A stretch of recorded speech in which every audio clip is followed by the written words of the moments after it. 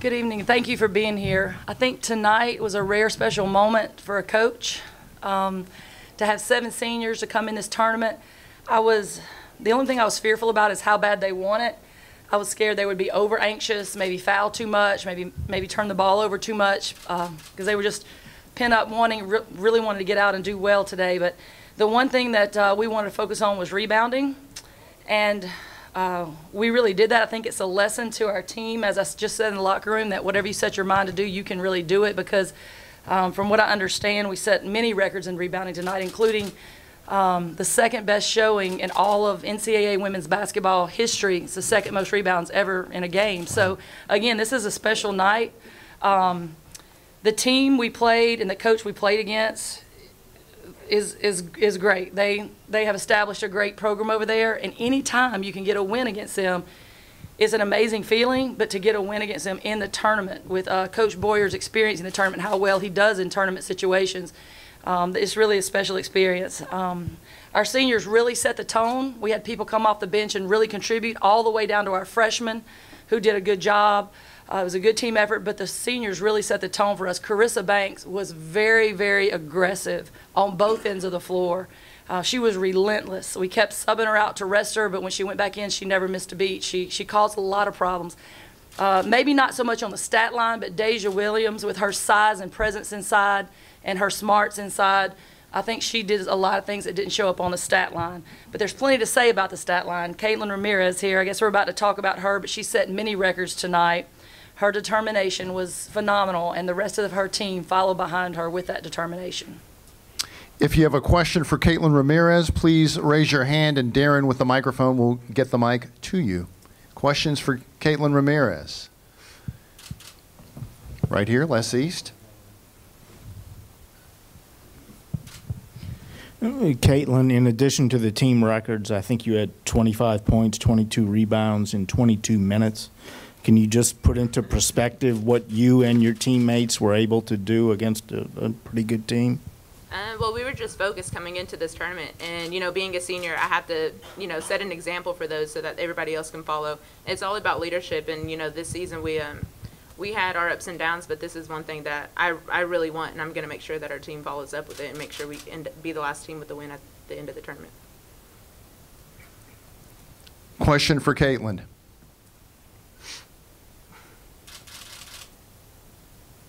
Anybody? Going once, going twice. Caitlin, we're going to release you to rejoin your teammates. Thank, job, thank you. See you in the semifinal Saturday. We will continue with questions for Coach Rigby. If you have a question, please raise your hand and we will get a microphone to you. Right here, red shirt.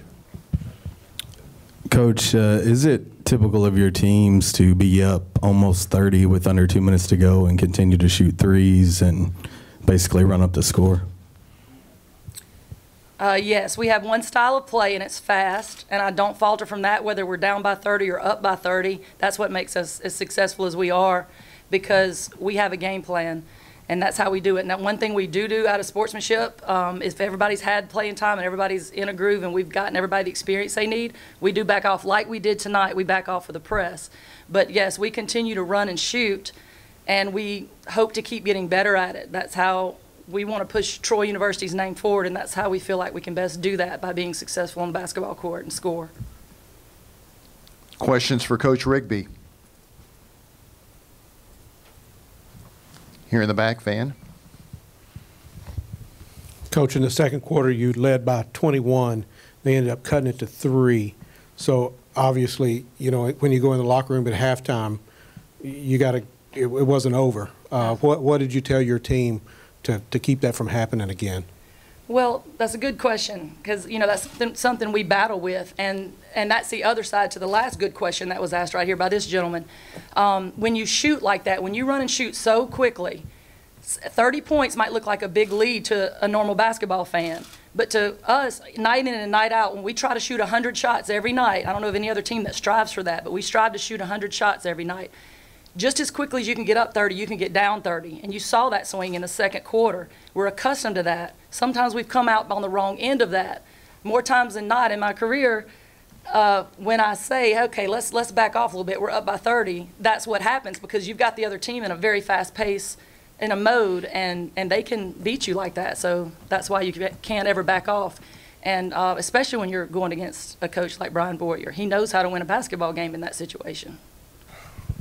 Um, yeah, well, thoughts on the game is just uh, uh, congratulations to Troy. Um, uh, they're they're a veteran team, extremely talented team um, that you could tell obviously today was on a mission. Uh, played extremely well.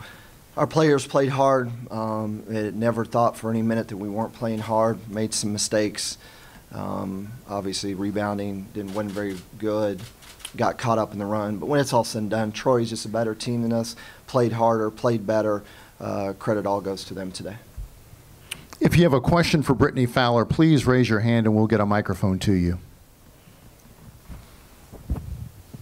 Hey, Brittany, just kind of your thoughts on your career as a whole now that it's over. Um, I'm really lucky to have gone to Arkansas State. I'm blessed to have been uh, Coach Boyer gave me the opportunity to come here because it's been one of the best decisions of my life. I've had so much fun. I've met great people, and it's really made me to the person I am today. And I'm really glad I got to do it with Dominique Oliver the whole time. She's my best friend, and she's made me a better person. Questions for Brittany? Brittany, when you guys cut the lead down uh, right before half, what was kind of the, I guess, the feeling of the team going into halftime and coming out? Oh, it was great because we made an awesome comeback and the momentum was going our way. And because we were down by a lot, but we kept fighting, we kept fighting. And I think that says a lot about our character over the season. And even though we haven't had the best season, that we always keep fighting. And that says a lot about us. And, you know, that really meant a lot going into halftime. Questions for Brittany? Brittany, thank you for your time, and we'll uh, dismiss you at this time to uh, rejoin your teammates. We will continue with questions for Coach Boyer. If you have a question, please raise your hand, and we will get a microphone to you. Coach Boyer, kind of similar to what I just asked Brittany, going into half, uh, you had to feel pretty good about being able to cut that lead down like that. Just what was the thought and what was the halftime message? Well, we, um, you know, we were we were fortunate during that. Um, you know, the second quarter, we we we did shift it. We went to zone for a little bit. Our players did a really good job of it, and um, they started missing shots. You know, more more than anything, they started missing shots. And when they missed shots, you know, they weren't able to get into the press, uh, which has allowed us to have some success on offense, and we were able to cut into it. And um, you know, at least you, you felt good about it. That you know, I think they scored the last one or two possessions right before going into half, which felt like, you know, kind of took the wind out of our sails a little bit. Um, but at least we knew coming in, coming out of halftime, we still with, was within reach, um, and uh, you know, so at least gave us a shot. Just now that you can maybe look back on this team full of young players, uh, just your overall thoughts of them being able to get two games in, what that's going to mean for you guys moving forward. Well, I think you know. Again, I, I said uh, you know the other night afterwards, and, and even yesterday, some is uh, um, you know it, it's important to experience what the tournament's about. You know, in in the first game, it's it, you don't really get to do that. At least you get by the first game. It does allow you to experience what it's about, and um, you know, hopefully that'll be valuable. You know, again as we move forward. Coach, I know that um, you'll be hitting the recruiting trail, and you'll take a little time to decompress, maybe. But between now and the end of school, just kind of your game plan with the, the team coming back for next year, and your your long range goals going into the summer, it, what you got planned for them. Well, um, you know, I, I, we'll, we'll, probably decide that. Again, I'm leaving it. I may leave tonight. I don't know. Either that or tomorrow at 6 a.m. I haven't decided to go recruiting for the weekend, and then. Um, uh, give some time to thought. I, um, you know, we'll probably give them a week off right before spring break and then come back and get to work. You know, um, you got a lot of things you have to do with this group. Is um, number one, we got to we got to get back and play catch up academically. You know, because it's easy to fall behind during February uh, in early March here with all the classes you miss. So that's got to be our priority, uh, making sure we're in good shape there. Um, you know, and then uh, you know, college basketball. It's it's all about recruitment of players and development of players. You know, and and uh, we've got both of those to work on. Uh, you know, as far as we, we had a good early signing class, we um, you know we do have one scholarship available right now. Um, so we need to make that a big one for us. And then, and then more importantly with this team, it's the, the development of players piece of it. Uh, um, we've got to get players to get better. And, um, you know, when you look at these freshmen, especially in all my years of coaching, the biggest jump players make in college is between their freshman and sophomore year.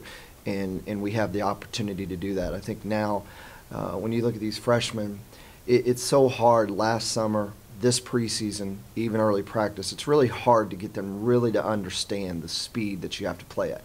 And it's even harder when they're going against each other every day in a practice. You know, they're not going against upperclassmen every day, except a couple of them. And so now they get it, they understand, and and uh, you know, the obviously going into the summer into preseason next year, you got to believe our, our conditioning, our speed, our quickness, you know, athleticism, all those things will be better because I think they get it now, and, and, and we'll have a we'll be able to uh, reinforce our message a little bit better. Coach, it seemed like uh, it was a great game, probably the best game all year for Peyton Tennyson. Just your thoughts on her play tonight. You know, she's had a good last, uh, you know, few weeks, and she's one especially that, um, you know, she really didn't get a, a fair shot this year. Her preseason was not good. She had a lot of some health issues, and and just you know she missed a lot of the preseason, and you know that's hard for anybody, especially a, a freshman. And, and you know she's just feels like she's had to play catch up all year long, and and it's just now where you're starting to see her physically able to get out there and compete. The, the, the skill level, the basketball has never been a question with her. She's a very skilled athlete, a skilled basketball player. It's just a matter of get the physical part of it together. And uh, she's come a long way, and if she'll continue to, to build on that from here, she's going to be a good player. She's talented.